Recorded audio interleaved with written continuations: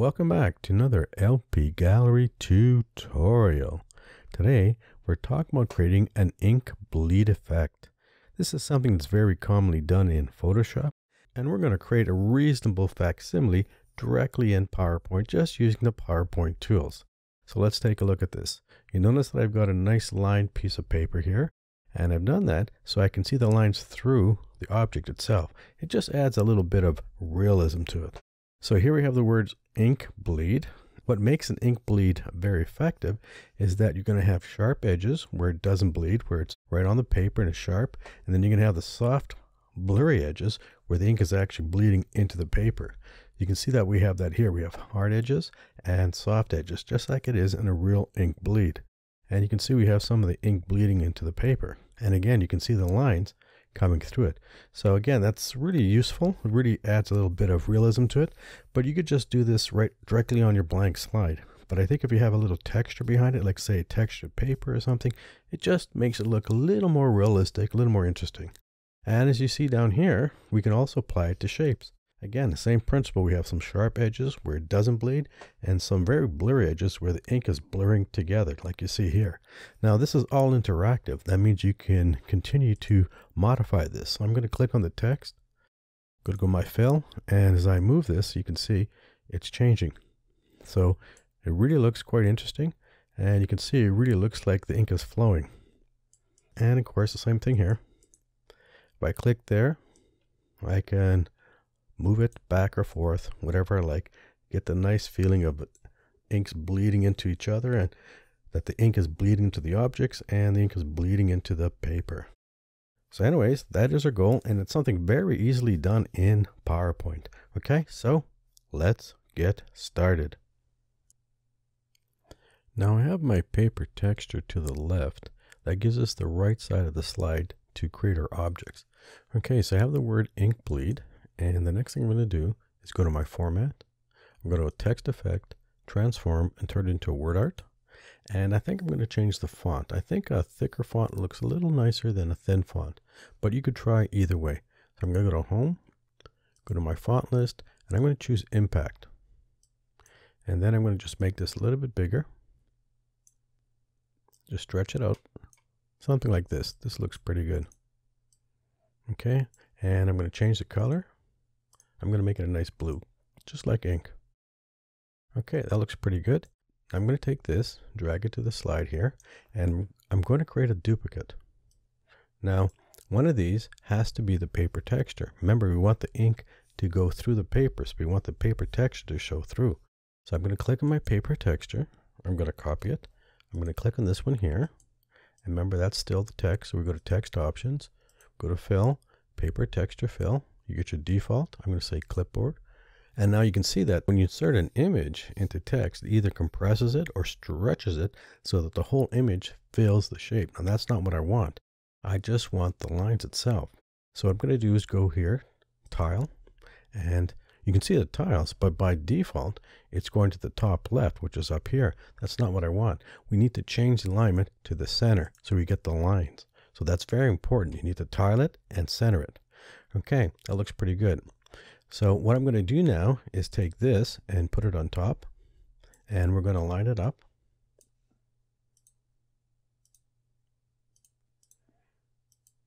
That's pretty good. And then I'm going to take the blue text and I'm going to make it transparent. So I'm going to deselect and click on it again, make sure I got the blue text. Go to my text options and I'm going to take the transparency maybe about 50% roughly somewhere on there 50 let's say 55% that looks pretty good. Now I'm going to select both of these.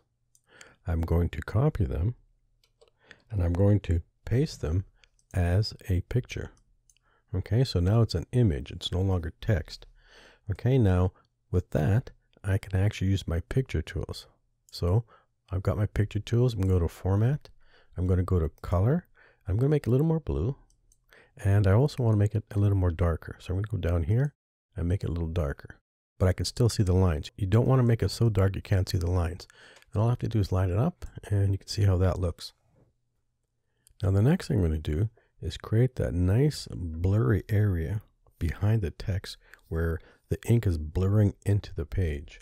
So what I'm going to do is take this, I'm going to duplicate it, and I'm going to put a nice blur on this. So I'm going to go to my effects, artistic effects right here. I'm going to put a nice blur on it, and I'm going to take the radius up, and something like this.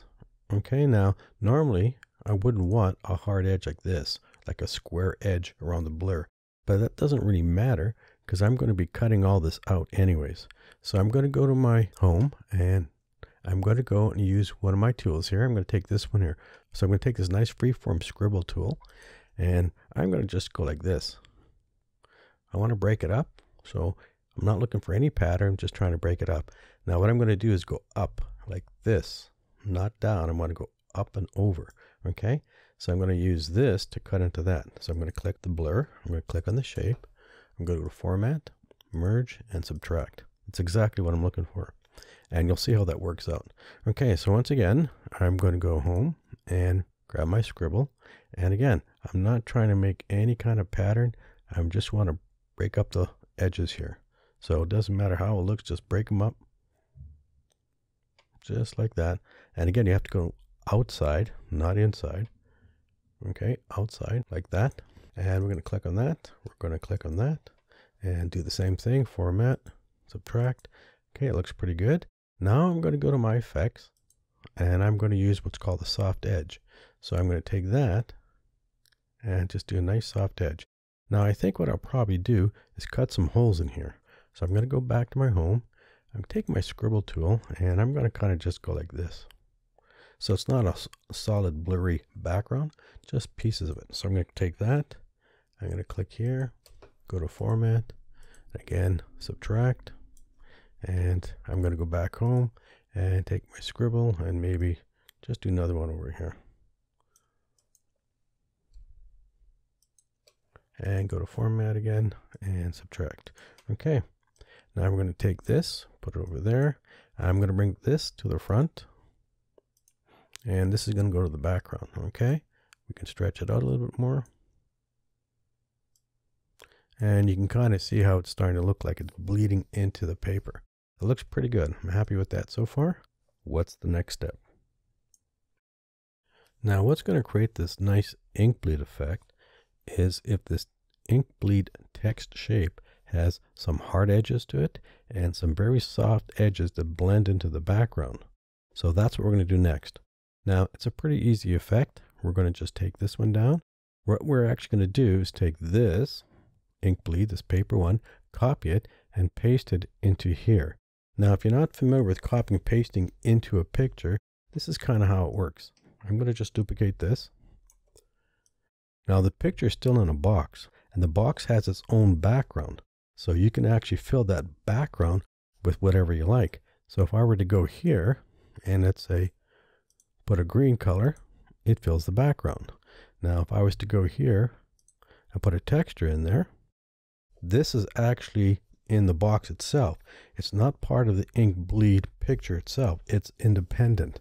So if I was to go here and spin it, you can see it's going to move. So that tells you that that texture is in the box itself and it's independent. So that's kind of how this works. So when we take this and copy it and put it here, we're going to be able to move the X offset and have it go across like this. And that's what's going to give us the nice hard and soft edges. Okay, so I'm going to take this, I'm going to copy, and I'm going to click here. Picture, texture. Of course, remember the last one. Let's go to clipboard. Again, we have to tile, make sure you're centered, and that looks pretty good. Okay, so now we use the X offset, and what we're getting now are hard edges. We're not getting any soft edges. To get the soft edges, we have to go to Effects, and we have to use the Soft Edge tool right here. So maybe about two, maybe three. Okay, now if we go back and run it, you're going to see that. So it really looks like the ink is flowing and you can see it's blurring into the paper pretty good. And you can just move it to the point you like where you get some nice hard edges, some soft edges. Now make sure as you're moving this, remember you're moving this here, ink bleed, that you can't actually read the text. So you want to move it so that the text is not really visible in the background. But you can see what's happening here. So this ink bleed, and maybe I'll just show you that over here. See the word ink bleed is moving across, and that's what's creating the soft and hard edges. Now, to explain that, let me just show you this. If you're not quite understanding that, let me just do it a little bit simpler. I'm going to take this and I'm going to take the circle and I'm going to go to merge, subtract. Let's give this a nice texture fill. Let's take this paper texture. Okay, now if I go here to soft edges, that's what you're going to get. The texture itself is not affected unless it's near the edge. So how the soft edge tool works is it goes to edges and it takes the edges and blends them. But there has to be transparency. So obviously it's all transparent on the outside, okay? The rectangle only exists here, so there's nothing on the outside. The circle is obviously hollow and transparent. So again, it applies only to edges that are touching transparency. Now let's put this back and let me copy this. Paste this as a picture. That's exactly what we did with the blue text here. Let's get rid of this one. Now let me go here. Let's draw a circle. Let's make it a green circle. Now, again, this is a picture just like the ink bleed text is a picture. Now, I'm going to take this, I'm going to copy it, I'm going to click here, and I'm going to paste it. Clipboard, and there it is. This is in the background, so I'm going to go here, and I'm going to tile it, and I'm going to move it. And you can see it's moving, so it's clearly in the background. Okay, now let's go here to the soft edges. And now let's take a look. Now, Again, the soft edges are going across the outside, but let's take a look where the circle is. Okay, you get a soft edge here, you get a soft edge on the green here, on the green here, and a soft edge here. But where the green actually touches the paper texture, there's no soft edge. That's because it's not touching a transparency. The paper texture is on top of the green, so there is no transparency there. Okay, so it's on top of something else. And again, the soft edges only happens when the edges are touching something transparent. So again, the green part here is touching transparency, so it gets a soft edge. And that's how it works. And as I move it, you can see what's happening. As long as the texture is touching the object underneath, you're going to get a hard edge. But where the object underneath is touching transparency, it gets a nice soft edge. Let's get rid of this. And that's exactly what's happening here. Okay, so again, where this ink bleed is touching the blue text, you get a hard edge. Where they no longer overlap, you get the nice soft edge effect. Okay, now what you can also do is this. If you want a harder edge, let's say you don't want it so blended, you can go back here and maybe take it down to like something like that. Okay, it's a harder edge, but then it doesn't become soft. So you can see that. So what you can do is take this, we're going to copy this, paste it as a picture. You can't put a soft edge on text. So we're going to take that and we're going to go here and we're going to make that a soft edge. And then we're going to copy that. Click here. And we're going to, again, clipboard, tile. And when we move that, you're getting a slightly less soft edge. Let's go back here, maybe one more, that's better. At least two point. And now we do that, we get a much lighter soft edge. So we get more hard edge and just a hint of the soft edge bleed. Okay, so it's up to you. You can go really heavy duty or just a hint. And I think looks pretty good. So you want to make sure the lines are lined up here so it looks more realistic and that looks pretty good. And again, if you want more of a softer edge, just take this up a bit and you get more of a softer edge. Now you can do the vertical too. Now, if you want to play with the vertical, the problem is with the lines. So if we do the vertical, spin it down, you got to make sure the lines line up. And they don't always line up. It just depends on how this is created, how you scanned it. So you can see they're not always lining up perfectly. So that's the problem with the verticals. Now, if you're doing this just on a plain background, it's not going to really matter. You're not going to notice it that much. And we go left to right, whatever you like. Okay, but you can see the lines aren't lining up. So I'm going to get rid of the vertical. And we have something like that. Okay, so anyways, that's how you do a simple ink bleed effect. So the next thing I'm going to do is put the ink bleed on shapes. We'll use a circle, triangle, and a square. Now just to save some time, I have my three shapes drawn here. So we have a red circle, yellow triangle, and a blue square. Nice bright colors. And I've got them fairly close together so when we do this background bleed, the colors will actually bleed together. So that looks pretty good. Okay, next thing to do is to select them and group them. So again, remember, they're individual shapes. They're not pictures. Okay, so I'm going to duplicate this. And we have to create this nice paper pattern in them. Now, since they're grouped together, we can copy the paper and paste it as one item. So I'm going to click on this. I'm going to copy it.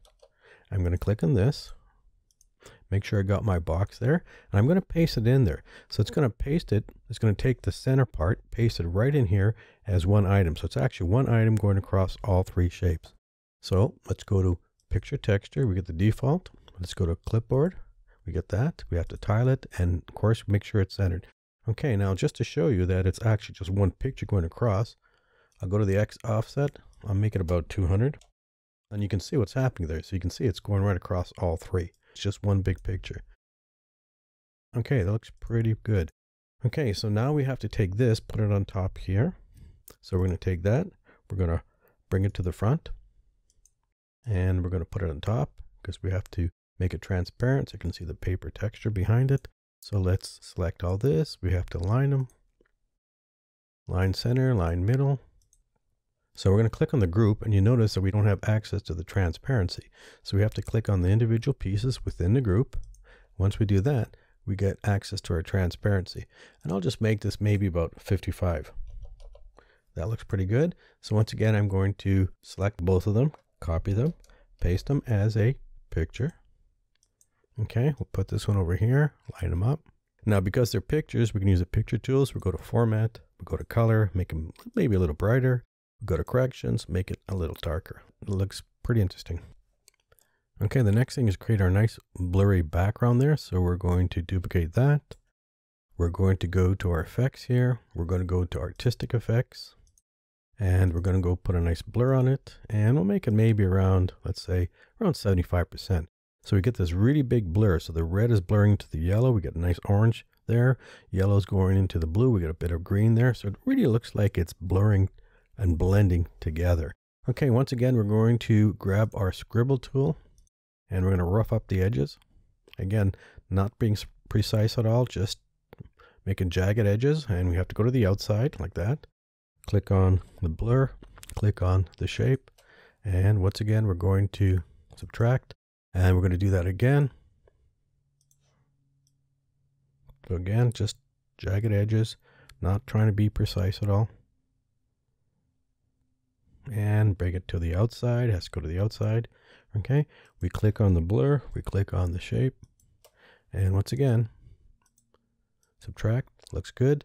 Now we're going to go to our effects here. And again, we're going to use the soft edges, something like that, which of course we can play with later on. That looks pretty good. Okay, I'm going to bring this to the front and we'll take this, put it to the back. Already you can see how we have that nice bleed. It looks really good. The red is bleeding into the yellow, yellow's bleeding into the blue. It looks pretty good. You can always stretch this out. So if I want to take this and stretch it out more, I can always do that. If I want to stretch it higher, taller, to do that. Okay, so we get something looks like that. Looks pretty good. Okay, so the last thing to do, of course, is to take the paper version of this Copy that and paste it into here and offset it, just like we did the text. Now the major problem is this. These are very large shapes. Now the text shapes are very thin, so when you offset them, they're not quite as noticeable. But this is a very big circle, very big triangle, very big square. So when you copy and paste it, and we add the soft edge and offset it, you're probably going to notice those shapes. So the best thing is to give this a soft edge before we copy and paste it in there. Okay, so I'm going to click on this. Now you'll notice that the soft edge is not available. That's of course because these are in a group. So I'm going to click the first one in the group, hold my shift, click the rest, and now that's available. I'm going to make this about a 12. That looks pretty good. Okay, now the one that's the most problematic will be the square because even with a nice soft edge, it's going to kind of have like a square edge. So what I'm going to do is flip this. I'm going to format. I'm going to rotate it, flip it this way. So the square edge will be here. We copy paste it and I'm going to use the offset to the left rather than the right. So it's going to move this way. So the square will go from here to behind here. Okay, so let's copy that. Let's click on this. Let's go to the fill, picture texture, clipboard, tile, and what it's centered. Okay, so now I'm going to use the X offset to the left. So I'm going to be spinning down And when I spin down, you kind of see that. Okay, you can see there's a triangle, there's a circle, and it's not quite as obvious. So now I need to give this a soft edge too. It's got too much of a hard edge, so let's go here, and let's try maybe three, and that looks pretty good. Okay, so what do you think of that? That looks like a pretty good bleed in there, and we can keep doing this. So we're spinning down, and we can keep moving it. Okay, so there's a circle there. And I think I kind of like it like this. So we get the red to orange bleed. We get the blue to yellow bleed. That looks pretty good. So we got a hard edge, a soft edge in these things. I'm going to deselect and take a look at that. It looks like it's bleeding in there pretty nicely. And we can click the background if we want. And we can stretch the background out a little more if you like. So something like that. Or make it even thinner. Make it not so obvious. So it's up to you. So I think I'm pretty happy with that. So we did a nice bleed on text and we did a nice bleed on shapes. What'd you think of that? No special tools required, just done strictly in PowerPoint. Okay, so I hope you enjoyed this video. If you did, give it a like, think about subscribing because we always have some great things to do with PowerPoint.